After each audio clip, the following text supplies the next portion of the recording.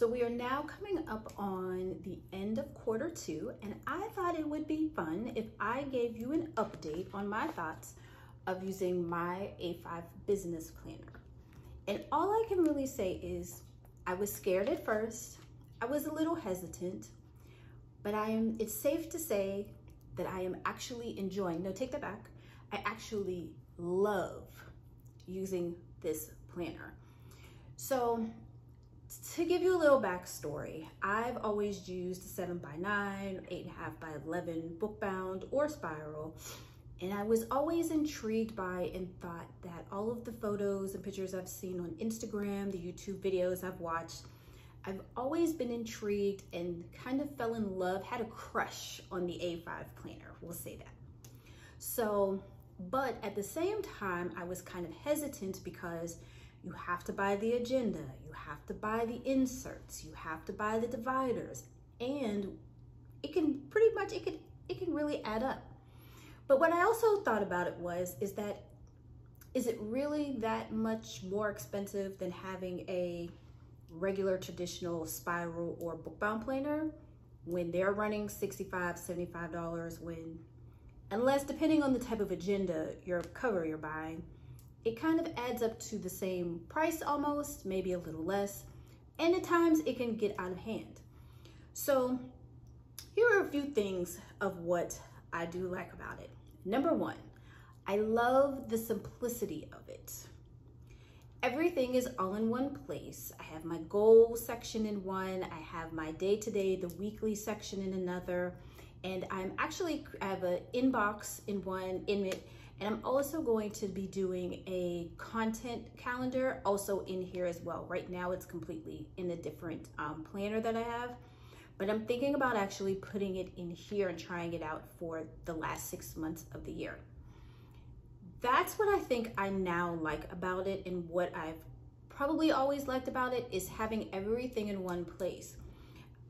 I kind of enjoyed having being multiple, using multiple planners but then that gets cumbersome. It gets tiresome because you have to pull out this planner here, you have to pull out this planner here.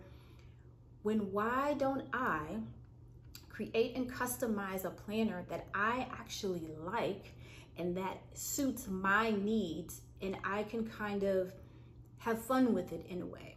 But back to the simplicity of it. It's not, I think for me, what I've learned with this is that as long as I knew what I needed it for and the sections that I needed, it made it a little bit easier for me. That way, I'm, I'm the type of person that uses their planner. I'm a creature of habit, so I tend to use the same layouts year after year, so there's nothing different. But with the simplicity of this, it makes it so much easier for me, one, to have everything for me in one place it allows me to, if I'm in the mood to change it up, I can, but I haven't even changed it up yet. Um, it's the same from when I put everything in it back in January and did the walkthrough of it back in January. But it is just simple for me. It is peaceful for me. Now, have I found planner peace? Maybe my version of planner peace because everybody's version of planner peace is different. But I think I've found my planner peace and I think I've found a good sweet spot for it.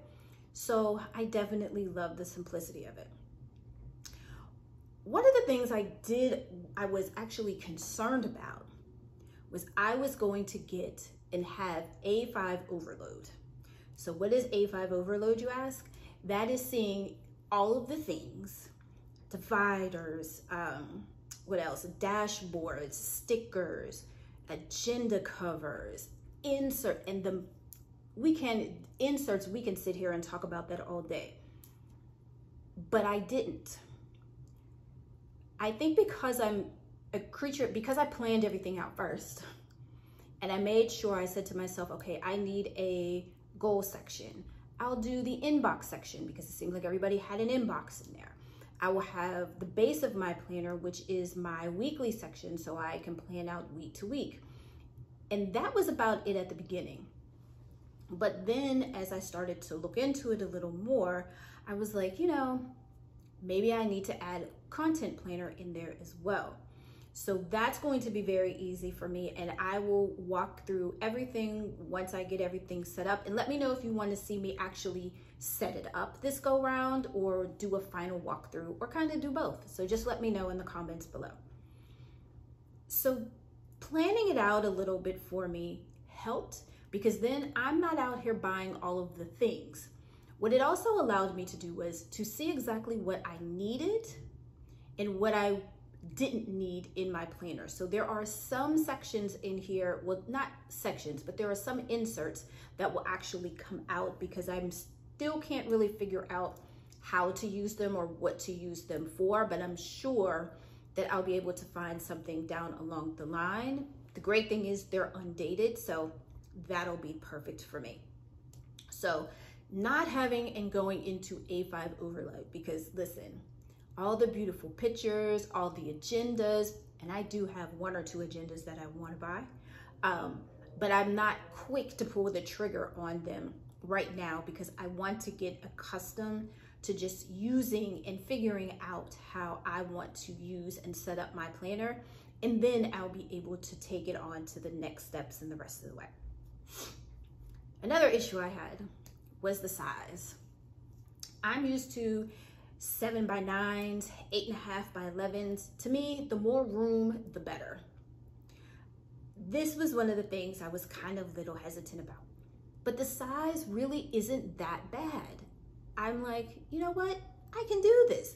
It's enough room for me. That way I'm able to write down everything that I need to write down. I guess that's why I can also add the different inserts if I need to, but it's plenty of room. I thought maybe I still think I have this huge handwriting that I don't have. My handwriting fits perfectly inside of it. I even just the size, the compact of size of it, it tucks away into my file folder where I hold all of my planners at. And it was, it's just, it was like, whew, okay. And actually that was probably the biggest issue that I had with it was the size. But actually this size, I would like to say, is the perfect size for me. And I don't think I would ever, as much as I would like to try a half letter, I think a half letter might be a little too small for me. But this actually gives me enough room and all that I need. And not only size wise, as far as me writing, but it also is enough room as you can see. It's a little chunky as you can see from here and it'll probably get chunkier in the next six months.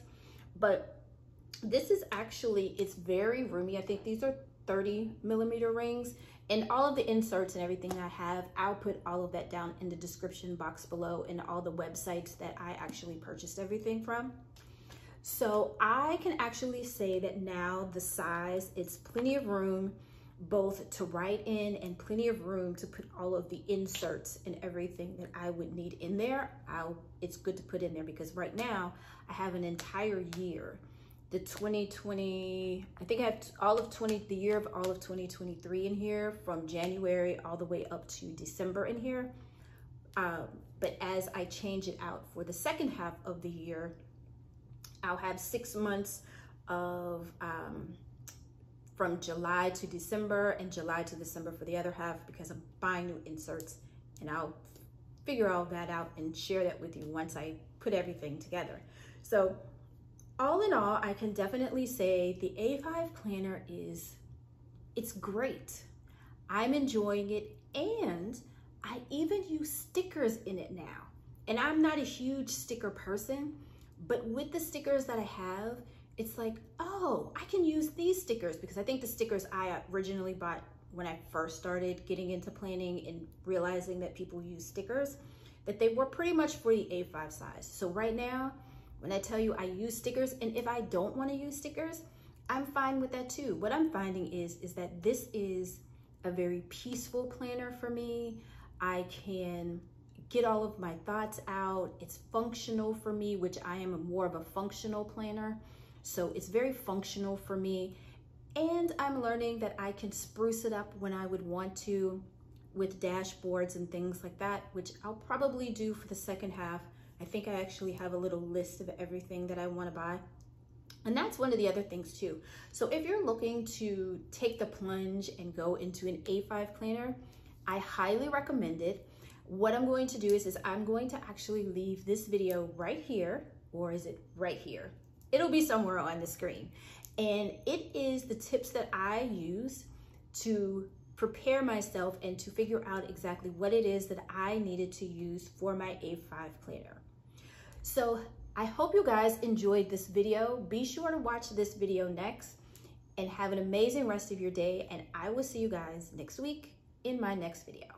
Bye guys.